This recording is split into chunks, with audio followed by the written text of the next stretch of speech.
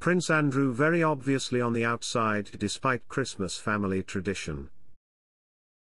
Prince Andrei may have been on the Sandringham royal walkabout but it doesn't mean the disgraced royal is on his way back to the firm's front line, an expert says. Welcome to Royal Pancakes. Please don't forget to subscribe and click the notifications bell, so you don't miss any updates about the British royal family. Prince Andrew looked relaxed as he circulated with Christmas well-wishers at Sandringham. But this does not mean he's back on his way into the royal fold, according to one royal expert. In fact Angela Levin, royal commentator and biographer, thinks the disgraced prince is still very much on the outside when she discussed the festive goings-on at the palace on Sky News Australia.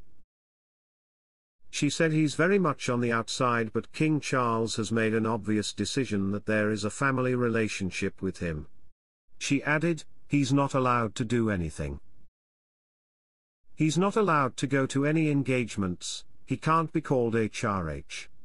But he is a member of the family and Fergie, as she's known as, she, it was the first time in 32 years that she joined the family for Christmas. Ms. Levin went on to talk about how meanwhile Andrew's ex-wife Sarah Ferguson was making her way back into the inner royal sanctum, as Queen Camilla doesn't hold grudges. She felt it was about time she was drawn back into the family. There has been plenty of speculation as to why the Duchess of York's invite was put forward by King Charles. One commentator believes it was because of the king's fondness for Princess Beatrice and Princess Eugenie. Robert Hardman, author of Charles III, New King. New Court. The inside story, told the BBC the monarch wanted to show his affection for the Duke and Duchess of York's daughters. Asked what should be read into the Duchess's appearance at Sandringham, he said, life moves on. I think it's a sort of readjustment.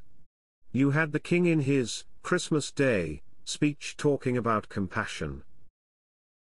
Fergie was out in the cold, if you like, really ever since the breakdown of her marriage back in the mid-90s. And there she was yesterday. The Daily Mail's Richard Kay says the reason behind the invite was her loyalty to Andrew. He said, for the answer, one needs to look no further than the man who was striding alongside her in that church-going group on Monday, her ex-husband, and devoted companion Andrew, the Duke of York. In the four years since Andrew's fall from grace, no one has been more supportive than the former publishing company girl Friday with whom he fell in love as they fed each other profiteroles at a Royal Ascot House party almost 40 years ago.